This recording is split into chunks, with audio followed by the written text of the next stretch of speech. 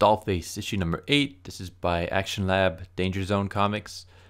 And uh, the creator for this is uh, Dan Mendoza. He writes and he also illustrates all but one issue.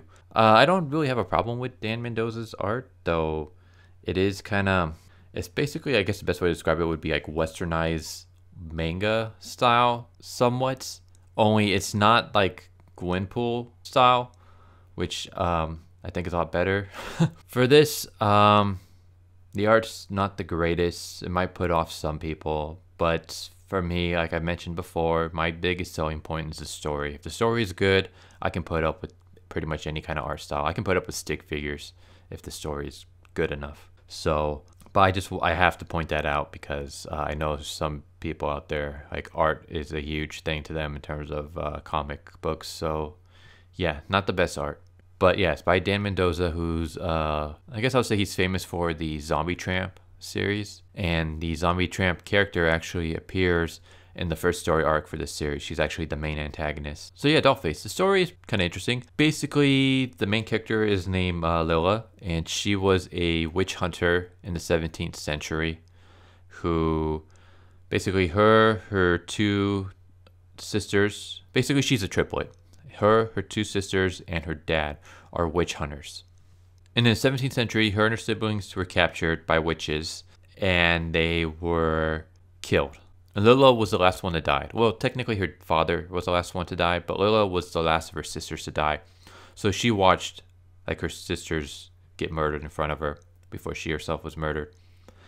And then we come across basically these two MIT students named Ivan and Emily and they basically Emily is like amazing with uh, 3D printers and technology in general, and Ivan is good with technology as well as he kind of comes across as like Necronomicon, so he's able to like he does like some weird like magic tech ritual so that he can. Here's basically what the plan is. The plan for them was that they wanted to create sex dolls. So basically, Emily would design a sex doll and then she would print it out with her 3D printer. And then Ivan would give the doll a soul so that the doll would act human.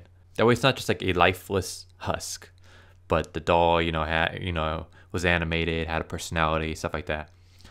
So they do that, but the soul that they give the the sex doll prototype happens to be Lila, who's a witch hunter. And she comes across a witch and she goes to one of the witches who actually killed her and her siblings. And she goes to attack it and she gets utterly destroyed. Uh, because she wasn't made for fighting, she was made for sex. So then Ivan and Emily decide, you know what? Let's forget this whole like sex doll business. Let's uh, create a let's create a witch slaying badass doll basically. So they upgrade her body. They gave her like a Mega Man, Samus, arm cannon. They uh, boost up her durability so she can take a lot more damage. They gave her like a uh, witch hunting tracking device so she can like hunt down witches that are nearby. So she has like you know strength. She can jump high. Basically, she's like a superhero. And they go out and they hunt witches. So in one of their hunts, Ivan gets killed, but he comes back as a ghost and he's like he has like in his ghost form he has like powers like he can uh create teleports that can teleport them across the world. Though they usually just stay in uh, america. He also acts also like a almost like a gps like he can basically turn into yeah he basically turn he can turn into a gps and then he can track down witches that way. Uh no one else can see him but emily and lila and then i guess supernatural creatures like witches and stuff like that can see him as well. But uh, because of that, he can like go into he can he's like also like a good spy character because like regular people can't see him, so he can sneak into places that you know he shouldn't be in. That's kind of like the basic setup in this current arc. This is actually the end of the uh, second arc, and in this arc, what happened is basically Lila, Ivan, and Emily decide to go to California to meet up with Emily's girlfriend, Paige and they go to the beach. And at the beach, they see this giant woman who's also a witch. She's a, a cannibal, and she shows up right behind Paige. And she grabs Paige and she bites her head off. So Emily watches this cannibal witch bite the head off of her girlfriend. So she watches her girlfriend die, and she starts freaking out. So Ivan grabs her and teleports her back home, and that's how the previous issue ended. So this issue starts with uh, Emily freaking out, crying. She wants to go back to Paige because you know she's like, we can't just leave her dead on the ground like that. We have to get her out. And Ivan's just kind of like, um, we know, but you can't come back with us because you're just going to end up getting in the way. So Ivan disappears to go back to help Lila because Lila is still fighting the uh, cannibal witch. And Emily tries to jump into the portal as well, but she misses. Like the portal closes just before she can make it. And then she basically gets pissed off and she kind of curls up and she's like, We never should have made Lila. And that kind of foreshadows what happens later on. So we cut back to uh, Lila, who's fighting uh, the cannibal witch, who's basically like like a ju- uh, giant sumo character, kind of. And we get like a cool action scene. Basically, this whole issue is kind of just like nothing but action, which is a huge plus in my book. So the cannibal witch rips the arm and leg off of uh, Lila, and it looks like she's gonna finish her off when Ivan shows up, and basically he's like, you know, it's time for an upgrade, and we get this like cool moment where Ivan like zooms in and he opens his mouth and Lila jumps inside because uh, jumping inside sends him to uh, the black room, which is kind of where Ivan lives now because he's a ghost. And uh, it's pretty cool. Like basically, she jumps into the black room, and then like her missing arm and leg get like digitized, and now she has her missing limbs back. And the cannibal witch starts chasing Ivan because the cannibal witch wants to eat him. And Lila's kind of basically explaining to Ivan as Ivan's running away from the cannibal witch. Lila kind of explains to him like my my laser beams don't do anything to this witch because like she's so fat that like it's not penetrating her gut and like as soon as like I shoot her, like her gut just kind of reforms again. Um, but instead, I have a plan, and that plan is I'm going to create a uh, sphere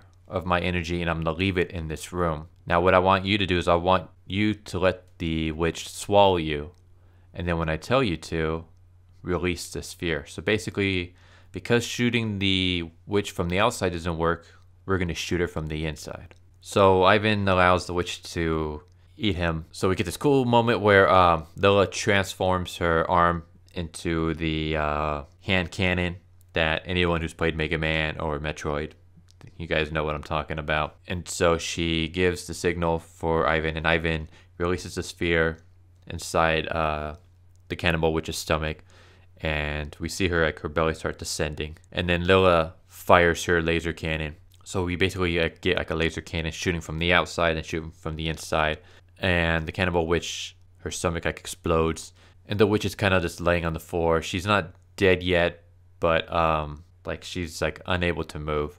And Lila's like, uh, uh, I'm not going to finish you off because, you know, you murdered my friend. She's the one that has the right to finish you off.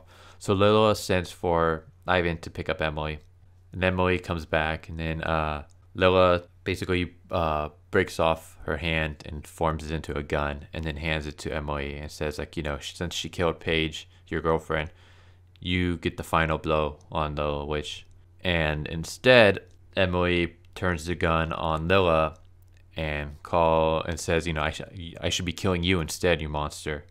Like, if it wasn't for you, uh, Paige wouldn't be dead, Ivan wouldn't be dead, and um, Ivan is kind of able to talk Emily down. Well, at least he's able to talk her down from shooting. But Emily basically, you know, flips the finger, tells him to fuck off, and disappears. Lila is kind of like, you know, Emily's right.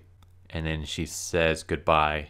So it's like Lila's kind of separating herself from the group and she's going to go on her own. And that's how the uh, the issue ends. The story itself is pretty good. It's like the premise is really cool. Like I like it. Like it kind of reminds me of like magical girl genre from anime. You know, like Sailor Moon, Cardcaptors, that kind of stuff. Madoka, because like Lila dresses up in like that those kind of like Lolita outfits. Um, and she like has like magical powers. Mostly it's just kind of like laser beams and stuff like that. And she takes on witches. It's just I don't know. I, I like the I like the premise. I like the the premise of a doll that can transmorph parts of her body into weapons, and she uses those to like go out and hunt witches. Like that sounds cool. The characters are interesting, but they're not cliches. Like they actually have personalities and characters and flaws and stuff like that. Like they're actually well written characters. And like another thing that I like is that it doesn't get into like politics really. I mean, there is a scene where um, there's like when they first meet up the, the cannibal witch, they're at Plan, uh, Planned Parenthood, and there is a like anti-abortion crowd outside who are like you know waving like um picket signs and kind of screaming and stuff like that. But there's also pro-choice protesters as well and they're portrayed just as uh just as the anti-abortion. So it basically it pokes fun at both sides which i think is perfect. Because i'm one of those where like if you're going to attack one side, if you're going to attack conservatives, you should attack liberals as well. If you're going to attack liberals, you should attack conservatives as well. Not necessarily attack, but if you're going to poke fun. Like my thing is always show both sides of a case.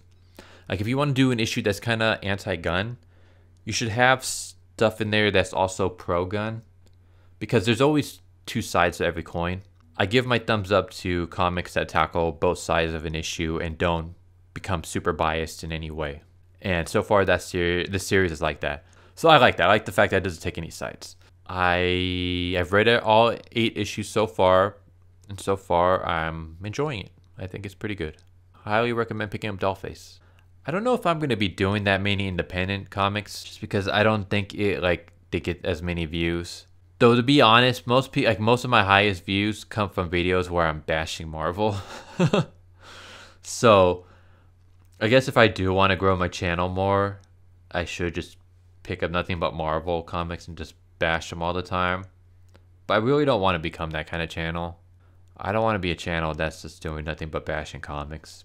So, uh, but then again, it's kind of like the only thing I really read now are DC comics and independents. Like I might read the occasional Marvel.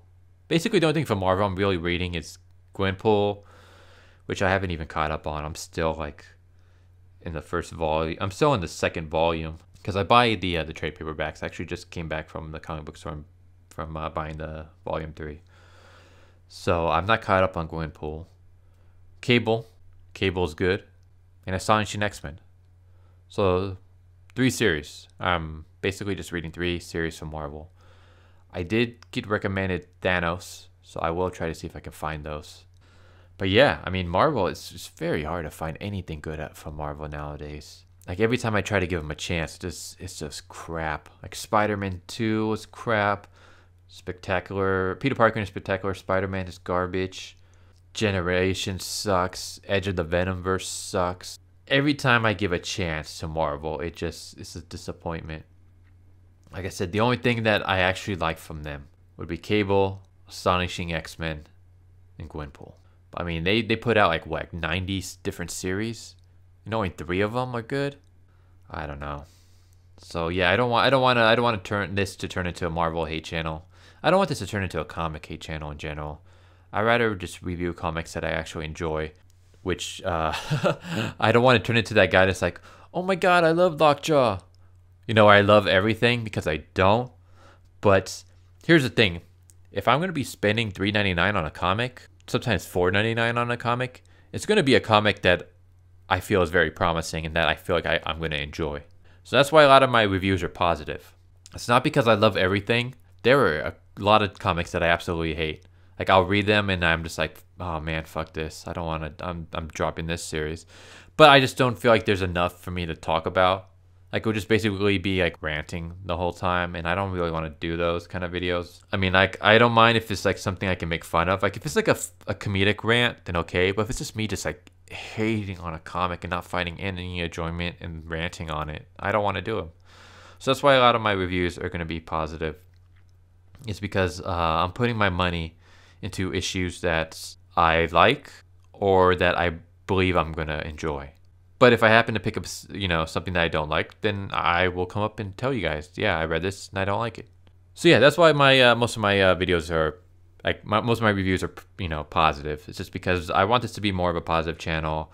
I go out my way to pick up comic books I think are interesting, and then I share them with you in the hopes that maybe you guys would find them interesting, and then maybe you guys would support those those comics. So maybe it is good that I do um, independence because I feel like there are some independents out there that deserve more love and more appreciation and more recognition and exposure.